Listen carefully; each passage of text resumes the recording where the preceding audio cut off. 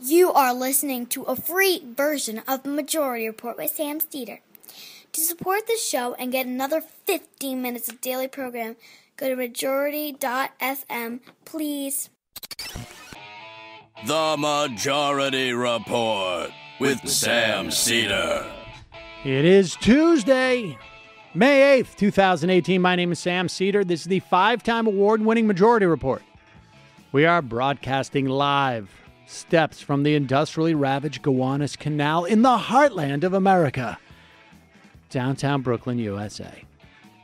On the program today, Stacy Mitchell, co director of the Institute for Local Self Reliance, will join us to discuss both her piece in The Nation on why Amazon is not looking to win the market, but rather become the market. And also her piece in The Nation magazine Six Steps to Getting Rid of Toxic Monopolies. Also on the program, we're pre recording this because we're in the middle of a set um, redo. But now I'm going to throw to me doing the headlines in our makeshift set. Thanks, Sam. And the headlines for today New York AG Eric Schneiderman gone. Accused of abuse of four women in New Yorker magazine resigns two hours later. Meanwhile, Trump announcing his plans regarding the Iran deal this afternoon. Everyone anticipates him trying to crash the deal. And Ollie North named president of the NRA because, of course. Meanwhile, Republicans and Trump looking for a do over on the budget. They want to claw back $15 billion. A big chunk of that is children's health care.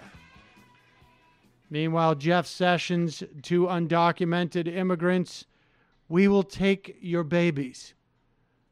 And Ben Carson and HUD don't want anti discrimination policies when it comes to housing. All this and, well, not much more on today's show. Uh, we are in the midst of building the set. Maybe you can hear the banging in the background. And uh, I just wanted to give you one update on the uh, Schneiderman situation. So he is gone. What will happen next is that the New York Senate and Assembly will meet, and this is actually pretty important because the the New York Senate, as you know, because of Andrew Cuomo's shenanigans, is controlled essentially by Republicans. However, in this instance, all of them will get together. They will have all one vote. And because the state assembly is dominated by Democrats, the replacement for Schneiderman will be a Democrat that person will serve until November. So there will be a primary, and then there will be a general election for the next attorney general. a lot of names have been floated around. We'll see if Zephyr Teachout's one of those people. Preet Bharara. God help us if it's Mark Green. but we will uh, we will talk more about that tomorrow. Also, we will catch you up on the implications of Donald Trump announcing that he wants to have the United States unilaterally break uh, the Iran deal. Uh, we will be live tomorrow. We will discuss those stories and more. In the meantime, back to constructing our set and avoiding falling pipes. There you go. Back to you, Sam. Folks, uh, so uh, just a reminder I know what you were saying, Brendan. Uh, oh, thank you, Sam. Back to uh, me. Um, Brendan was suggesting that what we should just do is I just mouth all the words and uh, we just lay. that's what you were saying, right? Maybe that's what we end up doing. So, okay. So uh, let me just go back over what just happened. We either threw to me in the. Um, in the uh, sort of the makeshift set for the day, or we literally just I recorded the audio and it seemed a little bit out of sync to you because I had recorded that um, yesterday. So uh, as long as we're clear on that, I think we'll probably go with that, the, the latter one. It's going to be weird, and a lot of you are probably like still your fingers are hurting for actually on the chat. Like, hey, what what what what was that about? There's something way way off with the sync. He's not the even future, remotely it's just you phoning in the audio, exactly. recording all the video on They'll weekends. just they'll just be a version of me just going watermelon, watermelon, watermelon, watermelon, watermelon, and uh, then I'll just call it in. It's sort of like it's like basically like the Dennis Miller show, right? Oh, why am I so chipper today? No, yeah, this is a great opportunity. This is part of the reason why I wanted to let you folks know that I was now uh, separated uh, was so that when I talked about buying, like, so I got a new set of Brooklinen sheets. In fact, I got two new sets of Brooklinen sheets. And now I don't have to feel awkward. I mean, it's awkward, but I don't have to feel awkward about talking about why I got it. I got, listen, I had to get another apartment um, and the first thing I did, literally the first thing I did was I got uh, two new sets of Brooklinen sheets, the kind that I like, the crispy, cool cotton ones. The era of the pajama boy is over. That's right. And now he gets his own sheets. You spend a third of your life in your sheets. They make a difference on how you sleep. They do for me. You can start getting better sleep with the best sheets. Brooklinen.com. They are the best, most comfortable sheets. No big markup. You can upgrade your nightly routine and feel more well rested every day. They were founded in April, I guess now, like three years ago, four years ago, by a husband and wife team. I hope they don't mind that I'm so excited about my sheets uh, as a function of the fact that I've ended my situation like that. But uh, their philosophy the most beautiful, comfortable home essentials, no crazy prices, no unnecessary markups and fees. They got versatile colors and patterns. I like to go with the bold stripes, frankly. It's just the way I roll. You can mix and max uh, to match any uh, to complement any decor. This is luxury bedding and it's underpriced. You have to try these sheets today. My Brooklinen sheets are the best. They are the most comfortable sheets I've slept on, and now I get to sleep on them all the time. Brooklinen.com has an exclusive offer for just Majority Report listeners. Get 20 bucks off and free shipping when you use the promo code MAJORITY at brooklinen.com. Brooklinen is so confident that they offer a risk-free 60-night satisfaction guarantee and a lifetime warranty on all their sheets and comforters. I hope they're prepared because I I wear I literally wear through sheets. The only way to get $20 off and free shipping, use the promo code majority at brooklinen.com. That's Brooklinen, B R O O K L I N E N, brooklinen.com, promo code majority. Brooklinen, these are the best sheets ever. Okay, folks. So uh, we've got an interview with Stacy Mitchell coming up. She's the co-director of the Institute for Local Self-Reliance, and um, as you know, we've talked to a lot of people about the uh, both the problem and the solutions of monopoly in this country, the the change in philosophy about antitrust that took place during the Reagan administration as a function of uh, University of Chicago and, and Robert Bork and that whole crew. Uh, so Stacy Mitchell has a, a very interesting, fascinating take on Amazon and what we need to do to fix monopolies in general. Uh, reminder: we will be back live tomorrow if everything goes well, and uh, we will have a, a fancy new set. And tonight there will be no uh, Michael Brooks show tonight. Just want to be clear on that. It's going to happen tomorrow night, Wednesday night, and he's going to have a new. I think it, it should look different. That's a sure thing. He was less certain than I than you were when I asked him That it was going to be on Wednesday. that he thought there might be a chance it was on Tuesday, but perhaps it's on Wednesday. I guess it's possible. Stay tuned, Yeah, but we'll it's keep you updated. highly unlikely. Okay. But it's possible, but it's highly unlikely. But it's possible. So either way, check uh, 7 p.m. tonight, the Michael Brooks Show. If not tonight, then tomorrow night, the Michael Brooks Show. And you can subscribe on iTunes. You won't miss it either way. Also, don't forget to check out uh, Jamie's uh, podcast at patreon.com slash the antifada. And as always, uh, your membership supports this show. Go to jointhemajorityreport.com. Jointhemajorityreport.com. All right, quick break, then Stacy Mitchell.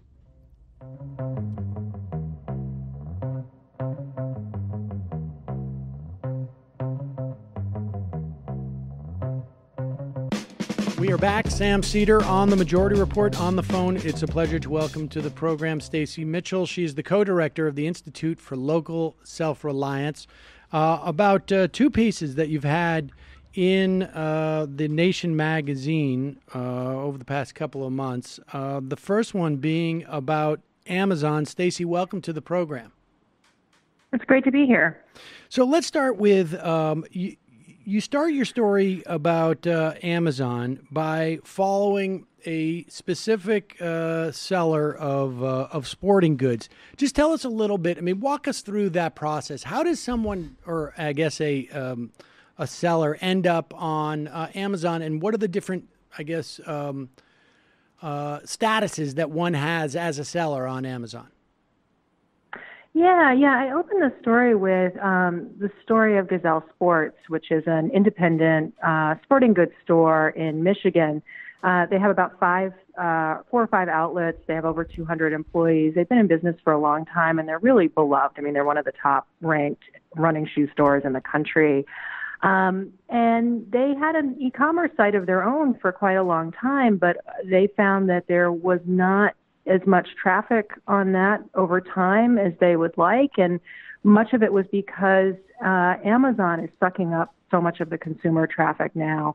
Um, more than half of all online shoppers are now starting their search on Amazon. So they're not going through a search engine like Google where they might find Gazelle Sports or another competitor. They're just starting right on Amazon's platform. And so Gazelle Sports, which, you know, competes directly with Amazon, um, really felt compelled at some point to become a third party seller in Amazon's marketplace.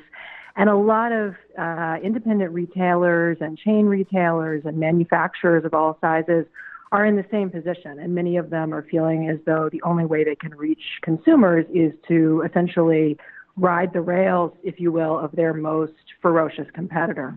And so basically, Amazon gets to a, um, they, they work their way to a sort of a critical mass where you get the, that many people just starting on Amazon for the search and everything becomes sort of a closed universe in a way. Yeah, I mean Jeff Bezos has really figured out how to, you know, collapse what you know what seems like this wide open world wide web, this wide open arena for commerce.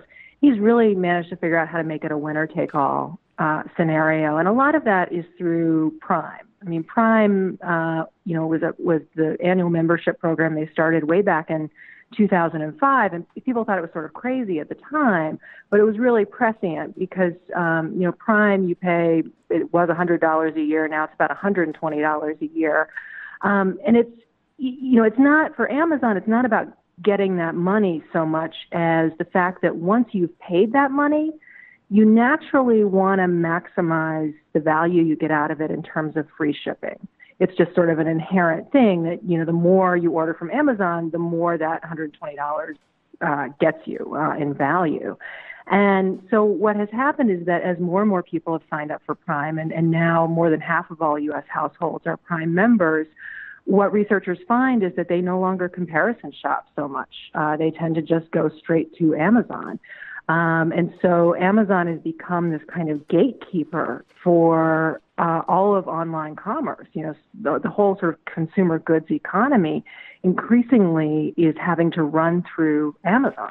And this is, um, uh, you titled your piece, Amazon doesn't just want to dominate market, it wants to become the market. And so there is, um, they are, they're basically creating the, the physics of the universe that you can sell in and then they're stepping in as a uh, as a comp- as a direct competitor uh, and I guess basically impacting those physics. Explain how they do that.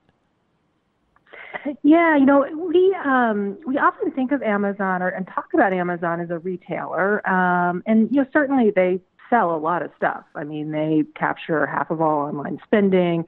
They're the biggest seller of books, apparel, consumer electronics, uh, and toys of anyone, online or off. So they are, in a way, this huge retailer. But to think of them as a retailer really misses the nature of the company and also misses the nature of the threat that it poses to our economy and, and ultimately to our democracy. Amazon is really an is an infrastructure company, um, and right now they have these three big pieces of infrastructure, and this is the infrastructure that other companies need in order to uh, operate. So uh, one big piece of that is the platform. Um, you know, as I said, lots of other companies now really feel there's no other choice but to be on Amazon's platform in order to reach consumers. Uh, another big piece of infrastructure that Amazon has is cloud computing. Um, they control about 40% of the world's cloud computing capacity. Um, and lots of companies, Netflix, Condé Nast, the magazine publisher, um, Comcast, uh, even the CIA uh, rely on Amazon for managing their data in the cloud. Majority uh, so again, report. Another majority the, report. The majority right? report. Our our podcasts are served uh, through our, our through Fans FM, are housed on uh, Amazon servers. Right. Right. So lots of companies, again, that compete with Amazon in various ways rely on its cloud services. And then the, the third big piece of infrastructure that they're building out is uh, shipping and package delivery. So they're really looking to take on and supplant like UPS and the Postal Service, uh, and, and they're you know, very much on their way to doing that. And so the future that they have in mind is one in which um, any other company really that wants to reach consumers either with products or uh, digital content um, is going to need to you know be on Amazon's platform using Amazon's cloud and relying on Amazon's delivery services to get stuff to people's doors. That's an incredibly um, powerful position and also an incredibly lucrative position for Amazon because you know it, what it means essentially is that by controlling these pipelines, Amazon can decide um, to pick off the most lucrative segments of consumer spending for itself. So it can decide here are the products and services that we want to offer, and we can privilege our own products and services on these pipelines. Uh, we can demote everybody else in the search results and give ours first bidding.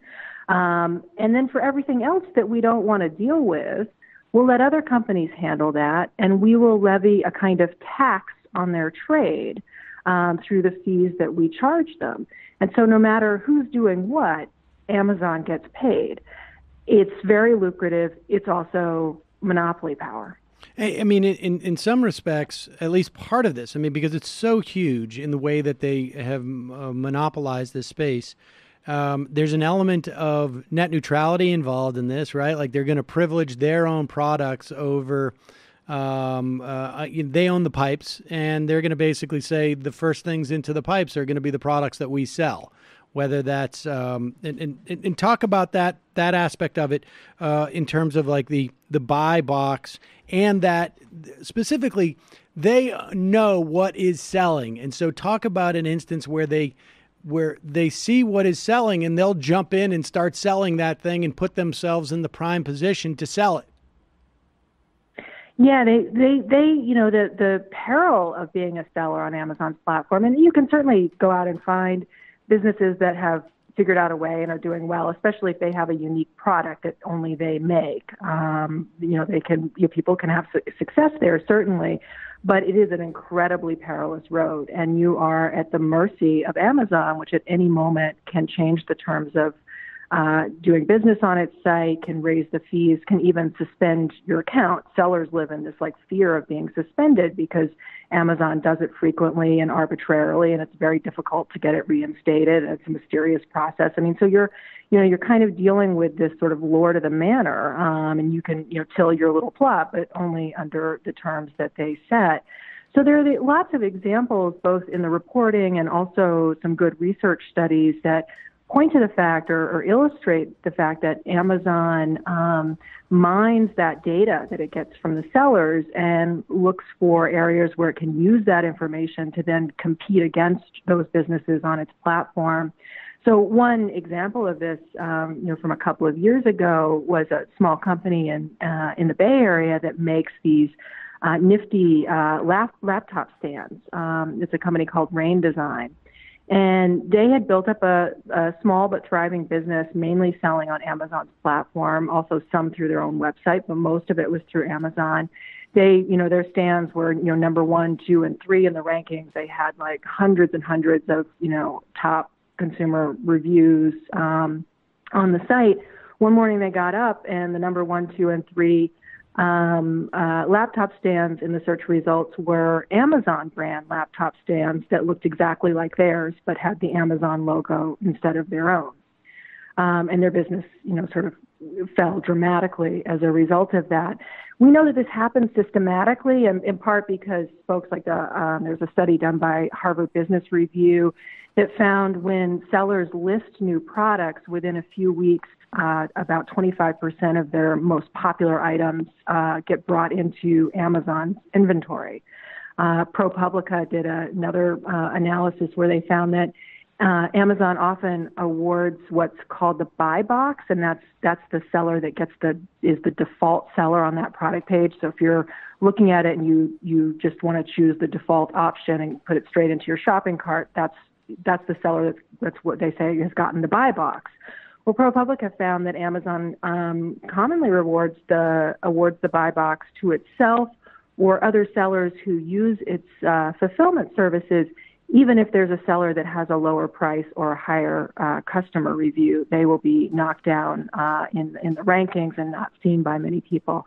So there are all kinds of ways in which Amazon really manipulates you as a seller and uses that knowledge to benefit itself and undermine you. And and you know, as we we begin to sort of um, we, we see the problems and we put it in the context of of antitrust. Um, this the idea of competing with um, with Amazon is also, I mean, um, is also essentially dead, right? I mean, no investor is going to say there's no answer you can give. I mean, in, in fact, on our show, we um, we're we're we're promoting uh, Jet.com um, uh, on occasion, which is you know from another behemoth, uh, but they can't even make a dent in, in Amazon's uh, uh, um, you know business. And so if I'm coming with like the next Amazon, I'm going to get laughed out of any room, right, where there's any investors. Yeah, absolutely. I mean, who's going to who's going to invest in that? And and you know, we, Amazon has this track record of when, uh, when you know, and, and this goes back a few years, but when there were successful startups that that were competing well against it, uh, Amazon used really aggressive tactics to uh, uh, take over their business. So a good example is Zappos, the shoe company. You know, they came along in around 2007, 2008 they were really popular um, and growing rapidly. People really liked the business. Amazon came to them and said, "We want to buy you." And the founder said, We're not interested in selling. Um, and Amazon proceeded to then sell shoes at a loss, um, at a steep loss with free shipping. Um, and they lost an estimated $150 million uh, selling shoes at a loss. Zappos had to try to match their pricing and then started bleeding red. And as a smaller company and without the kind of investor backing that Amazon enjoys, you know, eventually they just gave in and they sold. And so Zappos is now Amazon. Uh, same thing happened with diapers.com. You know, so every time a company has come along and succeeded in beginning to challenge them, they have used this kind of predatory tactic, really drawing on their, their financial might. So at this point, yeah, who, who would invest um, in a business that that might start up and, and compete against Amazon. And you know, this really also just filters right down to the community level because you know we've seen um, a really dramatic collapse in new business formation. Um, we're now creating new businesses. Um, uh, at one third the rate that we were about 25 years ago. It's just steadily, steadily declined, and particularly in the last 10 years, you know, we think we're this like nation of startups, this nation of entrepreneurs, But in fact, we're creating far fewer new businesses than, than we used to. And economists who are looking at this problem, um, you know, really, many of them are pointing to concentrated power. We've got too many industries where they're just dominated by these one or two big companies and no one can break in because they have enough power to keep all those new entrants out. And of course, it's hard to get a loan or to get investment because investors recognize this problem. I mean, wasn't it the case that you know if you were if if a a, a company purposely um, lost money on something to drive other people out of business, wasn't that the case that at one point that was illegal? Maybe I'm imagining that, but I thought that was you just it was against antitrust laws. That's absolutely right, and, and technically it still is illegal. Those laws are still on the books. Um, you know, back uh, between about 1890 and you know through the 1930s, we passed a series of antitrust laws, um, and the, the very first of those laws was actually were were inspired by the railroads, which at the time were doing something like Amazon is doing. You know, these industrialists got uh, control of the railroads, and then they used that to um, discriminate against and block their competitors from being able to get to market. They said, "Oh, sorry, you know, you're competing against me in this industry. I'm not going to let you ride the rail that I own." And that's what inspired our very first antitrust laws. Um, and we've passed, you know, we passed a number of them, including uh, laws that prohibit what's known as predatory pricing, which is when you sell at a loss in order to get rid of the competition, just what we've seen uh, Amazon doing. But we really stopped enforcing predatory pricing um, beginning in the 1980s. Um, there was a real um, uh, intellectual or ideological shift that came along at that time. It was sort of codified um, in how we enforce our antitrust laws. We didn't change the laws, but we changed the guidelines uh, and the ways that we interpret and enforce them the result is that we don't really prosecute predatory pricing anymore. Let's talk about that uh, just briefly about that change in philosophy. It was driven by um, folks out of the University of Chicago, particularly uh, Robert Bork, who went on to um, be an ill-fated uh, Supreme Court nominee. But it was the it was the Reagan era where the the shift on on antitrust occurred. Tell us, like, where, just philosophically and sort of like on, on in terms of the principles that were associated with antitrust before uh, this sort of Borkian turn, and then where they went. Yeah, so that the you know the way that we um, the way that we used to think about uh, antitrust and, and talk about monopoly was in a really very broad way. I mean, there are our antitrust laws we're very much about protecting democracy with this idea that, you know, if you have uh, companies that gain too much economic power, they essentially are kind of like autocrats. They control a lot of your, you know, people's lives and people's communities, and therefore there's something inherently political and anti-democratic about that. And so um, that sort of spirit of democracy, um, of wanting to disperse power as a basic principle of democracy and also a principle of opportunity and the sense of, of equality and fairness in the marketplace where you know people could have a good idea and come in and compete on equal terms.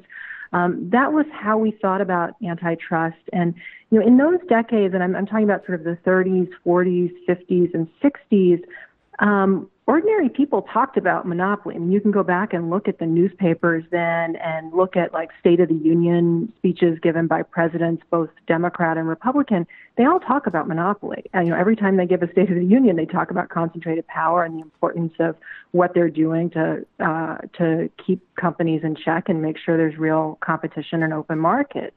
Um, so it was just a very um, you know publicly engaged, sort of vigorous approach to antitrust and when when enforcers looked at antitrust issues or looked at questions around mergers and whether to go after and break up a particular company, they often looked at it in a structural way. And so the idea was that you would look at a market and say, well, is this a market that has lots of competitors? Is this a market where a new business that wants to come in is going to be able to do so without getting blocked by a powerful company? So they looked at whether the basic structure of the market was competitive. You know, no one had too big of a market share.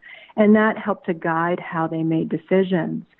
Um, and then in the 1970s, there arose this, um, you know, group of legal and economic scholars, often associated with the University of Chicago. They're kind of referred to as the Chicago School, led by Bork and, and other folks, um, who said, no, no, no, none of that matters. The only thing that matters, they said, is what's the most efficient way to organize business. And you know, big companies, they said, often are more efficient. They have economies of scale. So we should really let up. We should only look at this question of if this merger happens, could it yield efficiencies that might lower prices? And this has been known as the consumer welfare standard. And you know, m- many of us, you know, have only, you know, we sort of grew up under this. And so when we think about antitrust, we imagine, you know, the current doctrine, which is that the only question is, will this raise or lower consumer prices?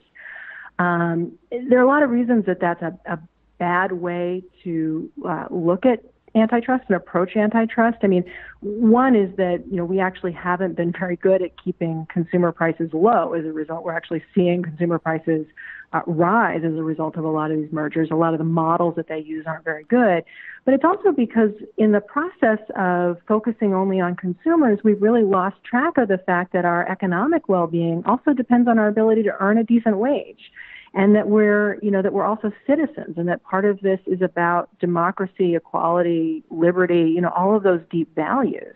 And that's what's really been lost uh, as this chicago school has uh, taken hold. I mean just as an example in terms of uh, political power uh, just because it's incredibly convenient to bring up because it just happened literally yesterday uh, the i guess wednesday of uh, of this past week. And i think we're running this this interview on on Tuesday, so it's five or six days ago.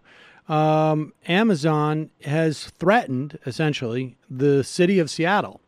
Uh, it has paused construction on a new downtown Seattle tower until the city council votes on, on a tax to fund a homelessness program because uh, they don't want the tax. I mean, this is uh, the the ability to hold a city hostage like this is um, I mean, somewhat problematic, obviously. And this is just a, a, another example of that.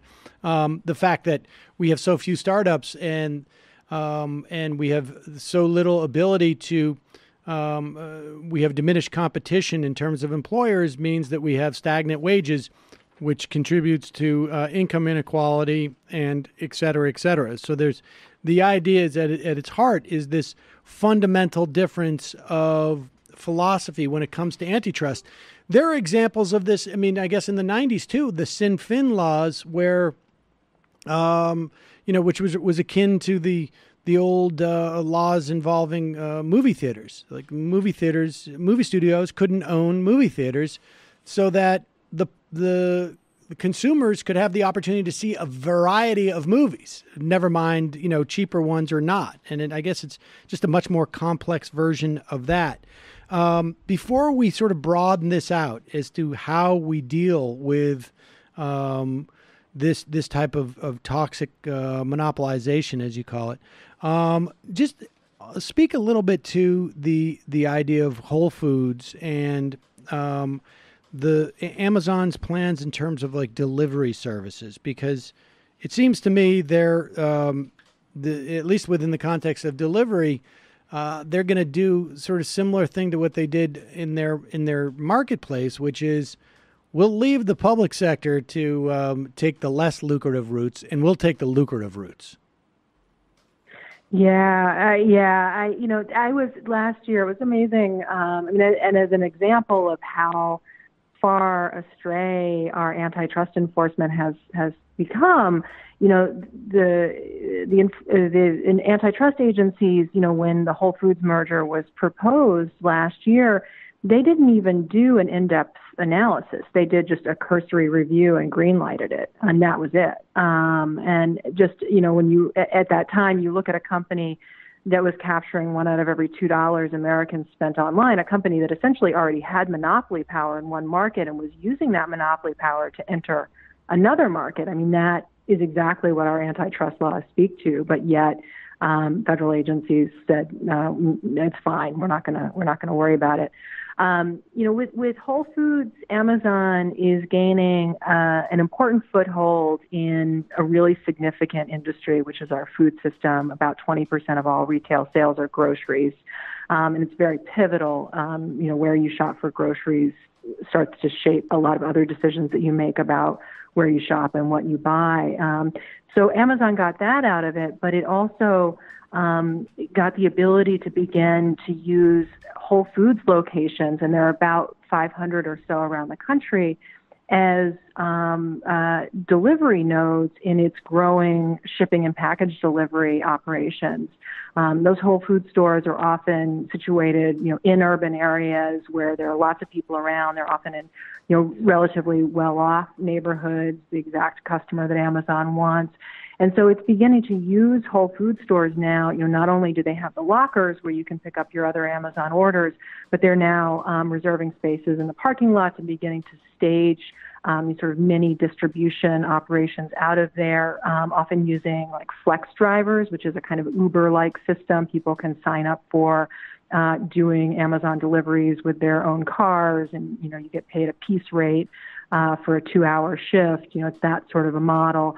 Um, but this was a big uh, uh, win for Amazon in terms of growing its distribution network and also beginning to um, uh, sort of merge online and offline shopping. I mean, I think the idea here is that um, there's going to be less and less difference between online and offline. That basically Amazon is going to be tracking you in its growing network of physical stores uh, and sort of merging that with its digital tracking of you, and there'll, no, there'll be less and less distinction over time. And what that means is that Amazon, excuse me, will be able to like leverage its online power um, in the offline world and gain market share uh, against brick and mortar retailers that way.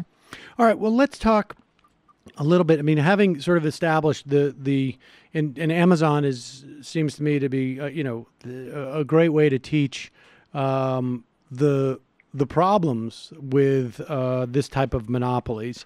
You know, beyond uh, the the pricing. I mean, you know, it, it seems self evident that once there are no more uh, retailers, Amazon's going to have a lot more flexibility with what they charge people on things. Uh, but even putting that aside, the the implications of an entity this large and this and having so many tentacles, um, and even aside from the idea that its um, its owner would uh, would have no idea what to do with all the money they're making, as opposed to paying um, uh, some of their employees. They've got to go to space to burn it, essentially.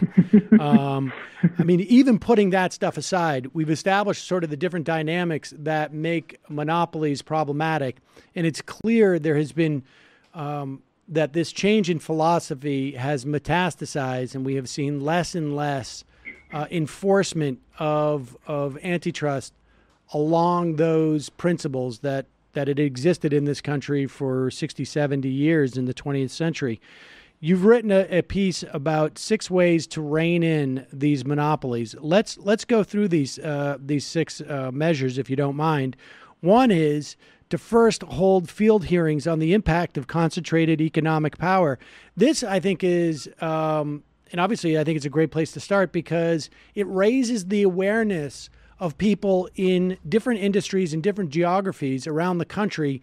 Um, because, you know, we don't hear very much about how farmers um, have problems with um, major agricultural uh, corporations that are that are um, undercutting them. I mean, is that the idea? Is it basically just begins to educate people as to the the idea of that the problems they're experiencing are not unique or anomalies?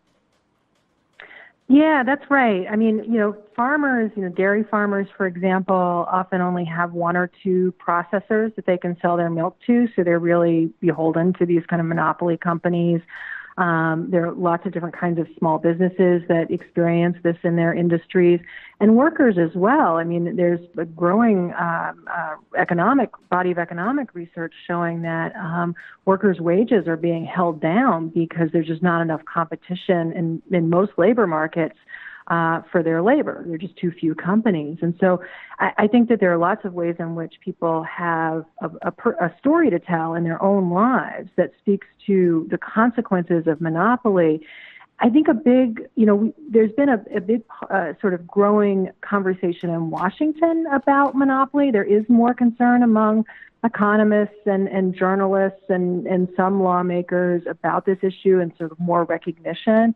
But I think in order to really generate the momentum that we need to um, to make some real changes in how we approach this, it's going to have to be grass, you know, it's going to be bottom up and involve the public. And it's going to. What I like about the idea of doing field hearings is that it's going to enable people to connect those dots and see how you know so many of us are affected by this problem, and also for for lawmakers um, to really hear from their constituents and to begin to to recognize how much this is affecting their home communities.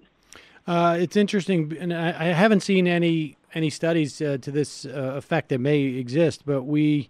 Um, this week again, we've seen uh, unemployment dip below uh, four percent. Uh, largely attributable to people leaving the the uh, the workforce. Nevertheless, I mean that is uh, we haven't hit that in almost 20 years, uh, but wages are basically frozen. If anything, it's uh, there. There's there's sort of like a downward pressure on wages, and I I wonder if we will come to understand that this is a function of of monopoly power. That you know Amazon may be hiring more people, but they don't necessarily have to uh, provide more wages because they don't have any competitors who are looking for the same the same people uh, uh on some level. So, um, and just to to stay on that uh, field hearings for one moment, this is something that could be executed by really any entity, right? I mean, you don't need to be control. You don't need to control. Um, uh, a state house. You don't need to control Congress. Uh, you don't need to be an elected official to begin to organize something like this around the country, do you? No, no. I, I think it's something that community organizations could certainly organize, and uh, you know, I would. Uh, you know, I think members of Congress and state attorneys general and local lawmakers, you know, should be really uh, pushed to attend. Um, but these are events that we we could hold ourselves, that we could organize ourselves.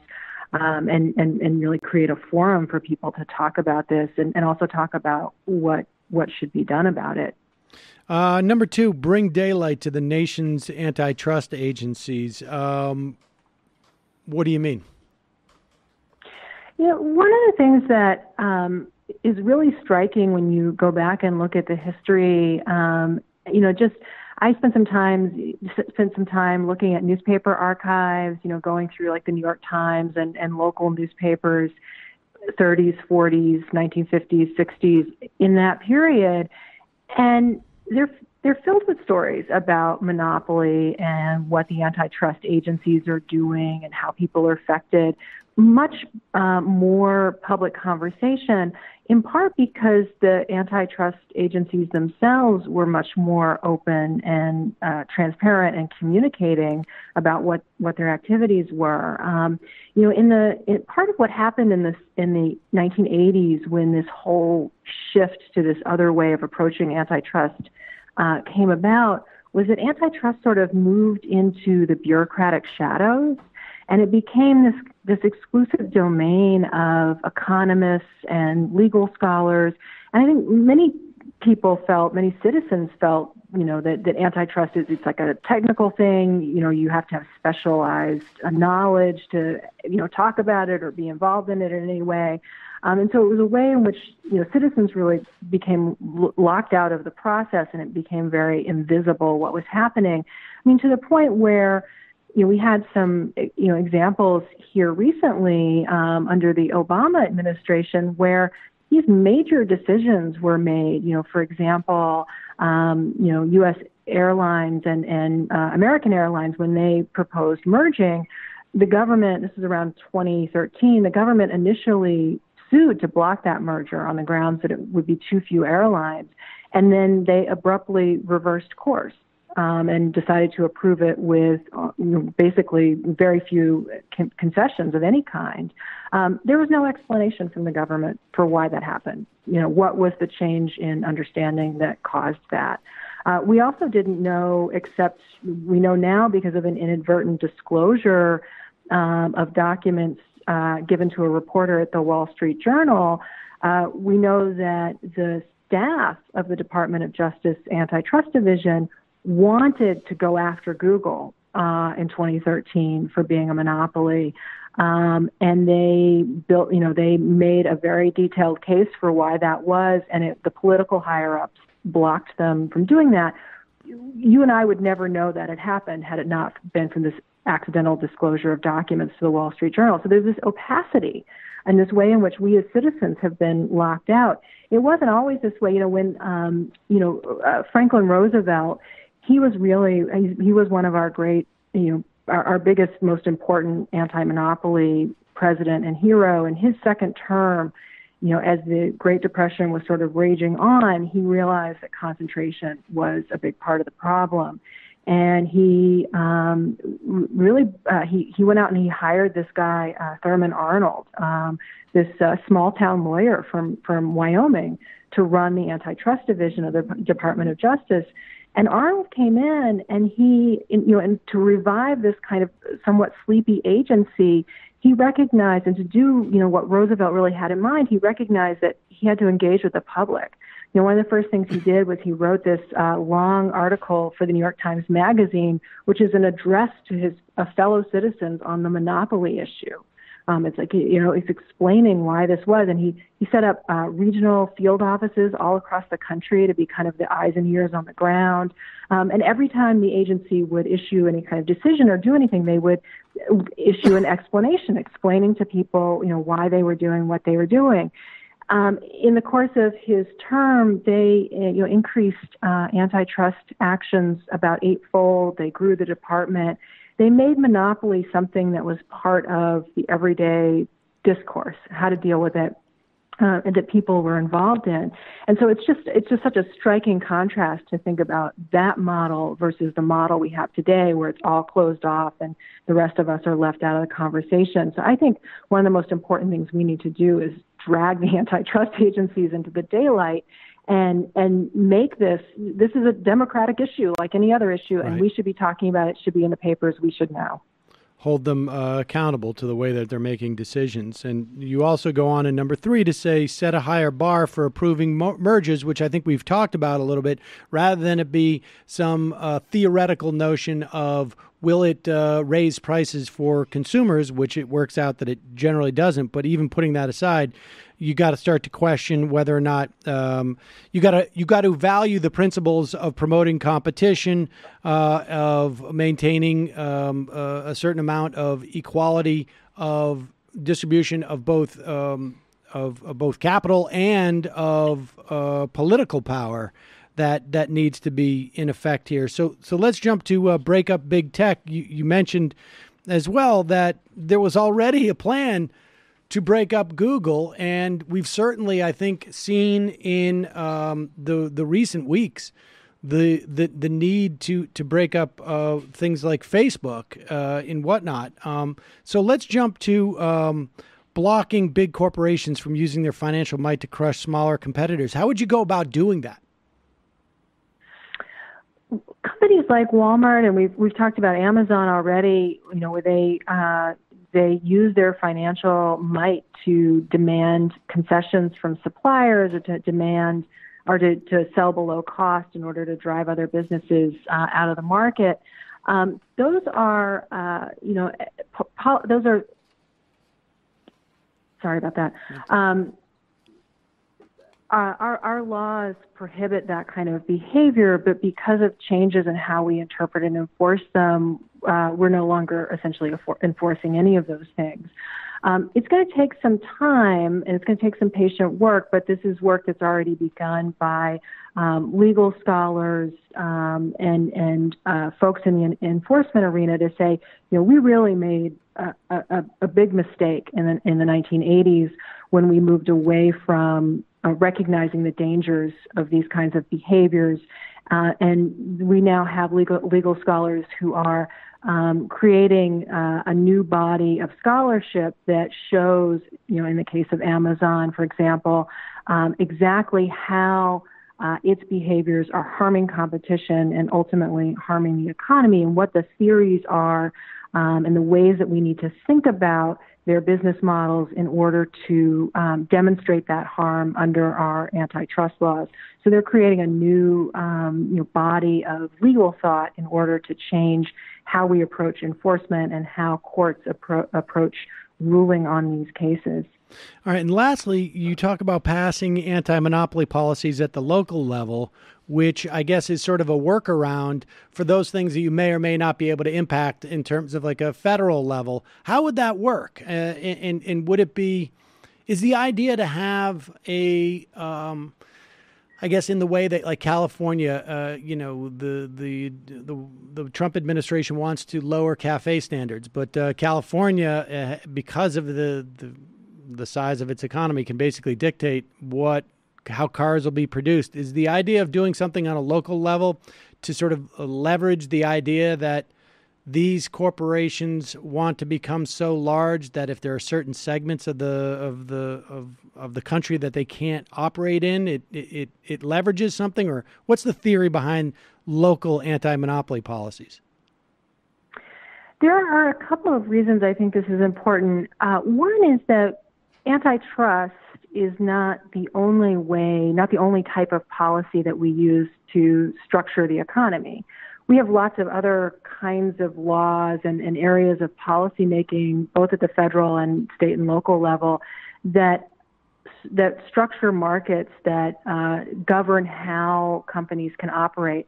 Many of these laws are specific to particular industries. You know, um, we have a whole host of banking laws, for example, um, that at one time, you know, kept uh, commercial banks and investment banks distinct and separate, and that limited the ability of banks to branch across state lines. We really wanted to keep a lot of our banking system more local and regional in focus those are anti-monopoly laws effectively. They're not part of antitrust, but they're, you know, a policy making that effectively defines how the economy is going to operate, how centralized it can be in terms of concentration of power. Um, so there's a there's a whole range of things outside of antitrust that are really important to think about.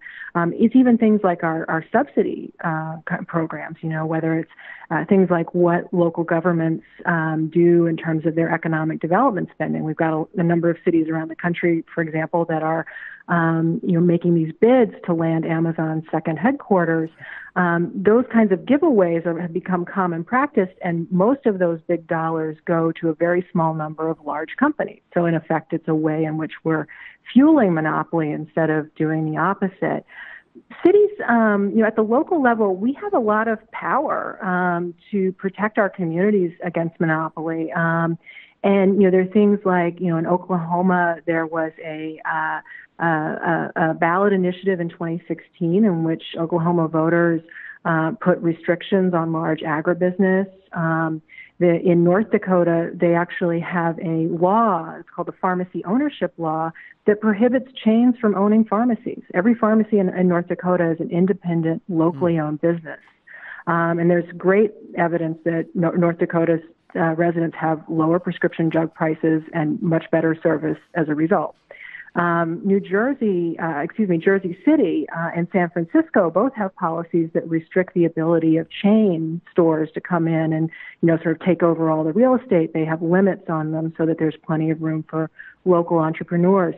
There are a lot of communities now that have built publicly owned um, uh, fiber networks so that they don't have to have, you know, Time Warner and Charter, you know, be their internet. So there are lots of ways at the local level um, that we can fight monopolies. And I think there, there's a political element of that too, that the more that we engage there and the more that we sort of take control of these issues, we begin to build um, power in a way that can generate the momentum for federal changes as well.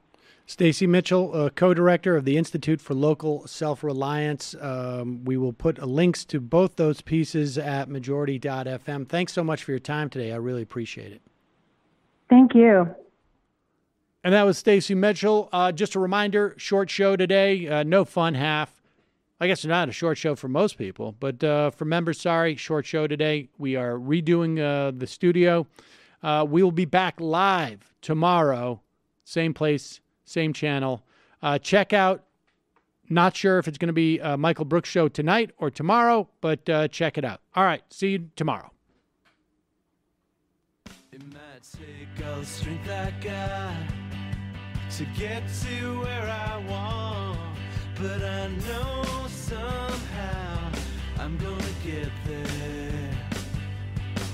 I wasn't looking when I just got caught